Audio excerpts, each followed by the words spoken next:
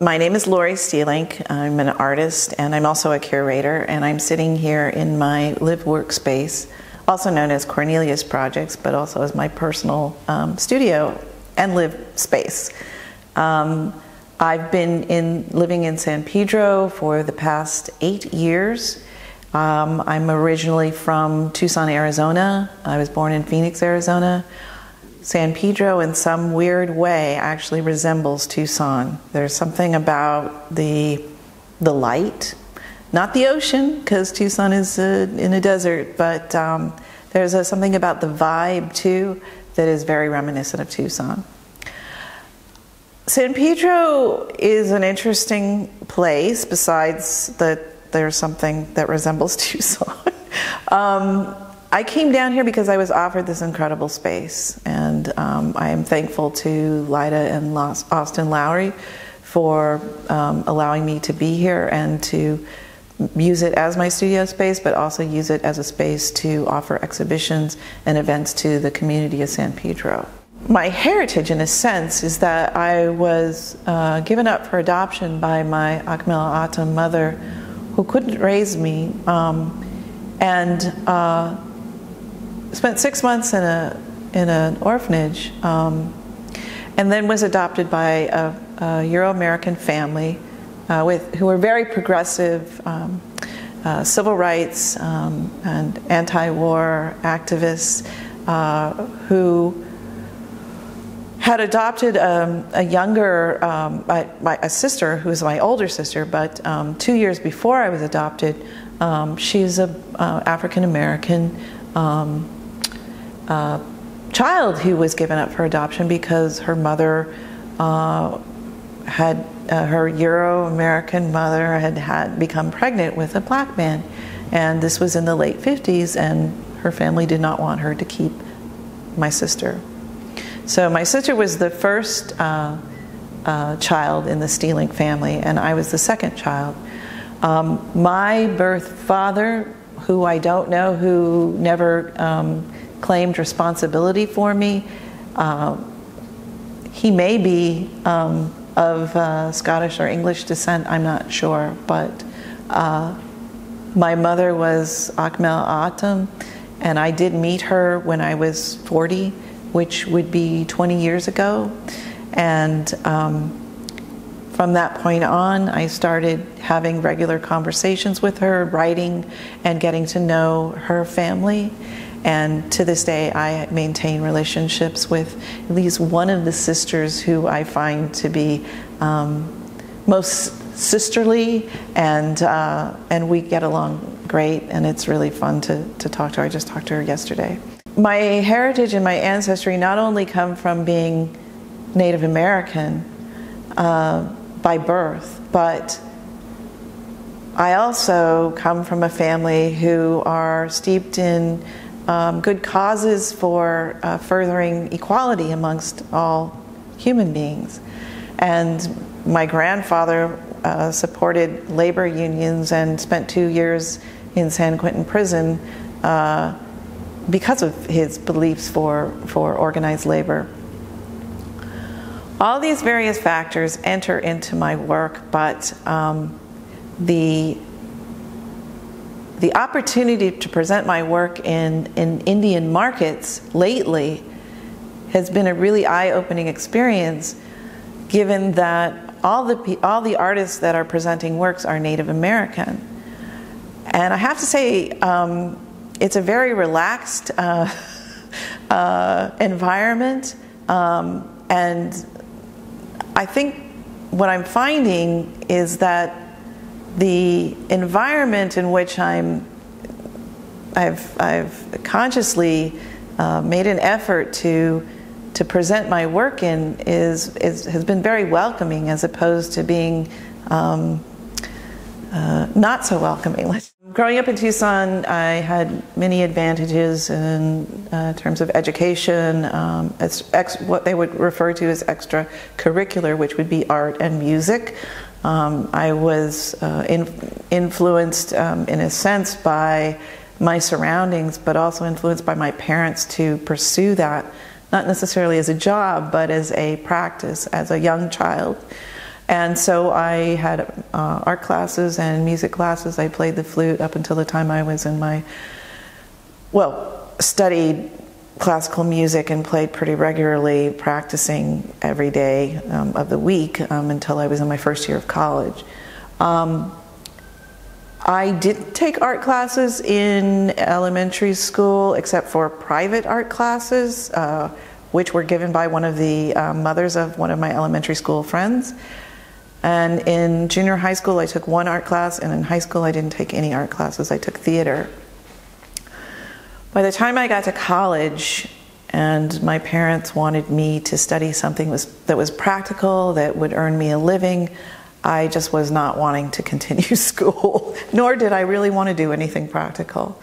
Um, but I did need a job, and so I started working at a hospital as a transportation attendant and met a bunch of misfits um, like myself um, who had difficulties in high school um, and who were very steeped in the music and the punk rock scene that was happening in Tucson, as well as the alternative art scene. And during that time, I was playing in bands. I played in about five different bands.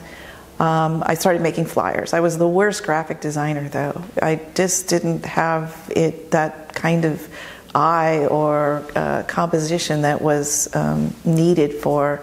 I, occasionally, I succeeded. There were a lot of mistakes, um, but uh, I did have the ability to make a mess, and and it was through that and playing in bands and performing that allowed me to have a certain freedom um, in making uh, making what I what I perceived to be artwork.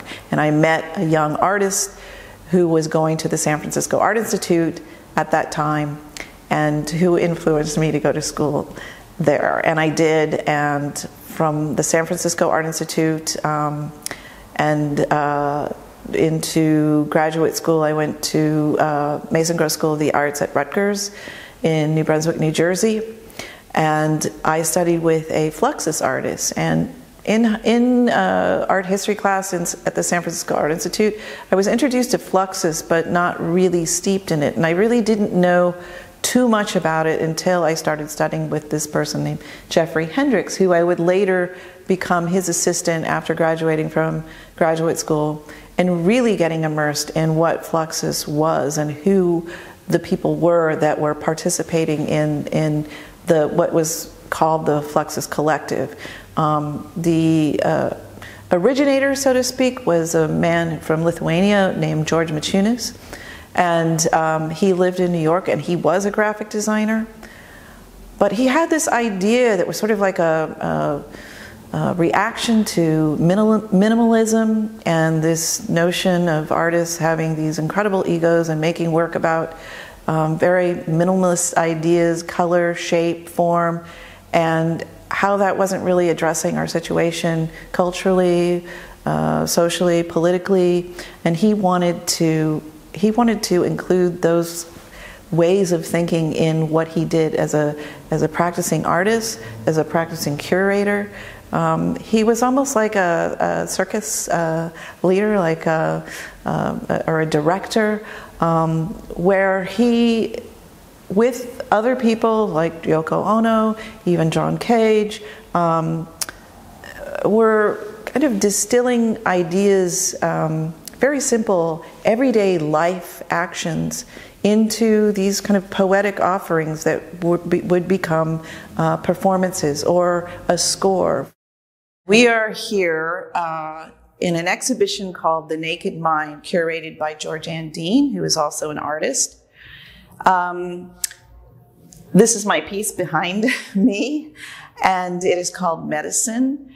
The theme of this exhibition is based on a number of things that all, but all those things have to do with our our psychological state um, as artists and as uh, human beings in this world and functioning um, in in today uh, with all the things that we are bombarded with. Um, and we are also, as humans, um, all dealing with some kind of trauma that have, has existed throughout our lives and may exist now if we're not addressing it. But for artists, it's actually a really good and fun way to address um, these issues that we've been carrying around with us for most of our lives. As far as my work is concerned in this exhibition, medicine, medicine refers to plant medicine for uh, all intents and purposes um, in this particular case. The medicine cabinet that is to my right um, addresses um, the idea of an actual medicine cabinet full of boxes that may resemble boxes that would be in anyone's medicine cabinet. But these boxes, for me, are, well, first of all, they're constructed out of deconstructed paint, deconstructed paintings of mine. And through that process, I decided to make folded boxes that would go into the medicine cabinet and address this idea of something that we consume on a daily basis to make us this way or that way or feel better or mellow us out or make us go to sleep. Um, for me, these medicine boxes are more akin to helping one see, helping myself see through the murkiness that exists here that we're all swimming in, um, that relates to how we feel, our tactile senses, our relating to people, our relationship to sound and to temperature and to give some sort of guidance to help one feel as though they belong. And that also comes with a doorway or a portal or a window or an entrance or an exit, depending on how you look at it, which I'm standing in front of now, which is that ability to be able to shift one's mind so that you don't necessarily have to go down a deep spiral of thinking horrible things about yourself, horrible things about humanity, but to be able to take what is being presented to you and not make assumptions based on the trauma either that you've suffered or the things that you've been taught that aren't necessarily the best way to react to uh, all sorts of situations. Um, I'm a meditator and I've been doing this for a number of years, and I find that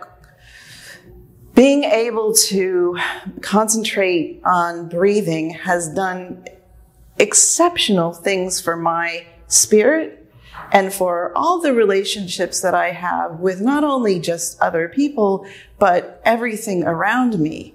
Um, this is an opportunity for you to meditate uh, as a viewer of this piece to imagine in some way or to actually create that sort of situation where you step into another way of thinking, another way of acceptance. The deer over to my left is made up of a number of elements that I have collected, including the medicine cabinet, which I collected as well. Um, their found objects is what I see as a guide. So as a viewer, you can take this guide, this friend, this, this being as your, um, as your guide, um, as a, a being that will help to lead you through if you need a hand. Because don't we all need a hand at some point? Um, and the feathers are cut also from deconstructed paintings, the regalia that surrounds the neck of the deer. Um, in a number of uh, healing communities, um, modalities, in particular indigenous um, healing, feathers are used to help to cleanse um, um the body and the air. And um, the regalia on the deer is has this um, uh, intention, as far as I'm concerned, to be of that for cleansing and for healing. So you may take something from the medicine cabinet.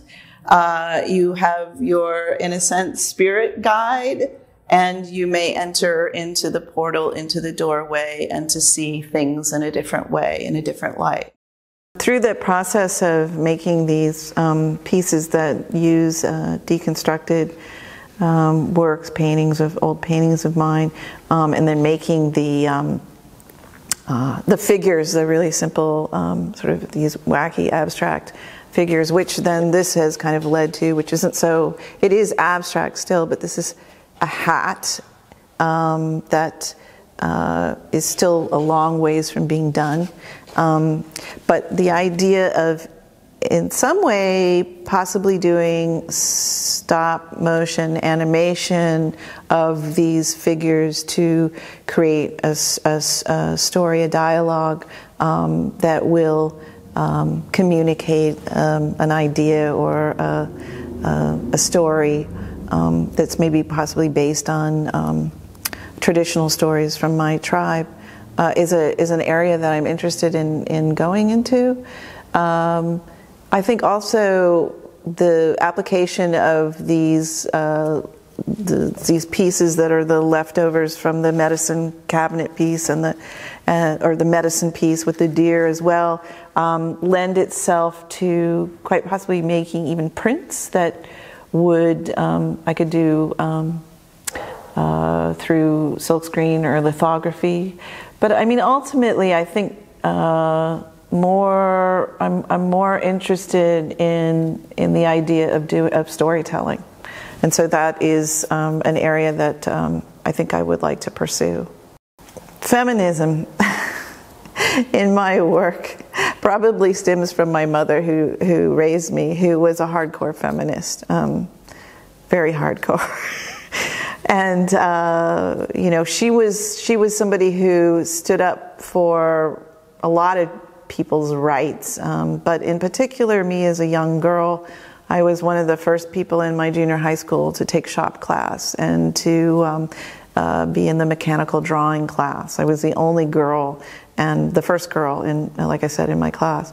Um, to she she was a strong influence, as was my grandmother too, who was also a wobbly and uh, a garment worker in in New York.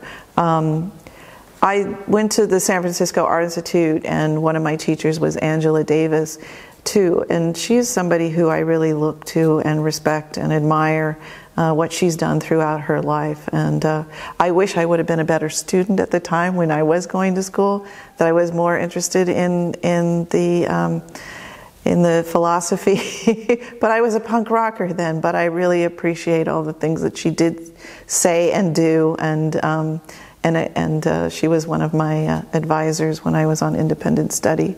So, but I do admire her greatly.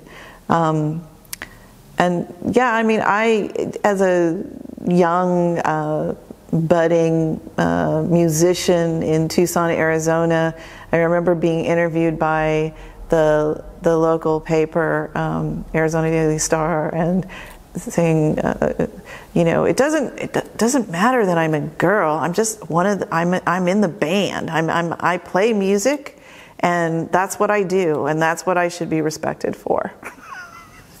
um, but uh, I do I do appreciate uh, the women that are, um, you know, lecturing, writing books, and addressing the inequalities that exist, um, not just with women, but people of color too.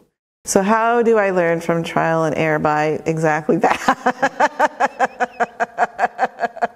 In fact, some of the best work comes out of error. Some of the best work is made from accidents.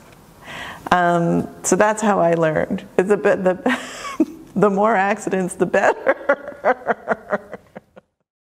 I, I mean, definitely. And it's taken me a while, you know? I'm like thinking about, like, I couldn't have done this, like, even 10 years ago. Because I hadn't quite, I hadn't quite arrived at what I, what I'm doing now, you know? And I think what I'm doing now is probably the best work that I've done in a long time. And I think it's because I'm older and I am not, there's, there's, there's no pretense. It's, it is what it is. And I hate saying that. I hate that saying. Sorry. I didn't say hate. I dislike that saying. It is what it is. It's, it, it is because I made it this way. And um, a lot of thought went into it. And, um, and sometimes, even though, you know, it's like it's back in the trial and error thing, it's like you have this picture, okay, okay, this is going to look a certain way, but then surprisingly, it doesn't look like how you thought it would. It looks even better, or it succeeds on a different level. So I like it when it when that happens. Um, yeah, I mean, like those things were literally okay. Okay, what am I going to do now? And you know, like okay, let me just glue this cardboard together. Okay, let me just add these pieces together. And then it's like I had this thing sitting around. This was from one of the photographs that I did, that I printed for my exhibition at, at Angels Gate, the Coming Into Being show. And um, it's actually kind of a funny picture because it's me standing next to this horse with my arm around its neck. And um, I was so in love with horses at the time. And wanting to disappear with that horse, you know, wanting to just like leave everything. That was my, that was, that was my fantasy, I suppose, at that age. And I added these little jeweled tears after I cut the head out of the picture because the print, something happened with the print and I couldn't, I stopped the printing process. So I had this face. And I kept thinking, well, how am I going to use this crying nine year old image of me? And then I started cutting around. It and made it more like kind of devilish looking with the, um, with the, with the pointy ears. Maybe nobody recognizes it as that. But I kept, this, this this image just kept looking at me going what are you going to do? What are you going to do? Okay you're okay. It's it's time now to to use me rather than just having me sit around being this crying face. And so with all these little pieces and then this, piece of paper that i added that was like a little collar um, i started adding onto this and it and now it becomes kind of almost like a crown um, a thinking cap of releasing my nine year old trauma as a young girl who felt like she didn't belong anywhere. She didn't connect with anybody except for maybe a horse It wasn't didn't belong to her, but she wanted it. But um, I'm feeling like uh, I'm I'm able to to release that that pain that was there, that was present through through making this. So how do I respond to boredom? I don't get bored. and I don't get bored because I've got I'm living in this amazing place. The amazing place that is this world, this environment, this universe that it produces you know, air that I can breathe and water that I can drink, water that I can swim in and that I can go kayaking in or, or mountains or hills or cliffs that I can walk along. Um, I, it's not, it's not boredom. It's I go for uh, regeneration on some level. If I need to, like, if I if I'm here and maybe this isn't going as well, or maybe I glued something that I didn't mean to glue, or I tore something that I didn't mean to tear, and rather than progressing on this, I will get up and I will go outside, either in the back, I will go for a walk, and I I can honestly say every time I do that, I I've it, it gives me more material, it gives me more more ideas for making work and for living this life that, that I'm so honored to be living. Um, I mean, we are living an incredible a life. It's almost like a dream that we can exist here. And um, recognizing that on a daily basis, on a, on, on a, on a regular basis throughout the day is um, all part of that art, I think, because it's like a, a, a, way of living and that's it's an artful way of living i think if you can if you can look at it if you can address that you can find beauty you can find um, the opposite in anything and it's not and everything in between uh, depending on how you look at it and depending upon your frame of mind. Um, but I think being in nature is such a great influence and um, uh, using your imagination, uh, writing. But these aren't fighting boredom. It, that's that's not fighting boredom. That's just there activities that help uh, propel you to the next thing. There's always that next thing.